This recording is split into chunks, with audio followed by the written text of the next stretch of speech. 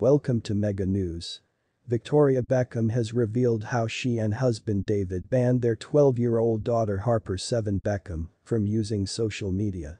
In a new interview, the 48-year-old fashion mogul expressed his concerns about social media platforms and access to his daughter Harper for fear of embarrassment. The mother of four revealed seeing how cruel people can be online is really worrisome. Harper too has respect her parents and she isn't on social media, so we don't have to worry about body shaming yet. Although the former Spice Girl admitted the thought was scary, Victoria explained how it helped Harper through her teenage years. Thank you for supporting our channel by watching to the end. I appreciate and encourage you to subscribe and like the video, thank you.